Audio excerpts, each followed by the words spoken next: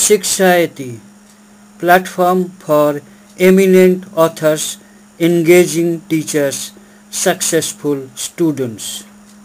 To know more, email. Contract of sale.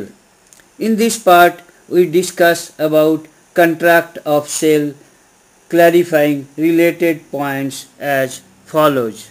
Sale, agreement to sell, Sell versus bailment, pledge and hypothecation, hire purchase, goods, destruction of goods, document of title to goods, price, fixation of price.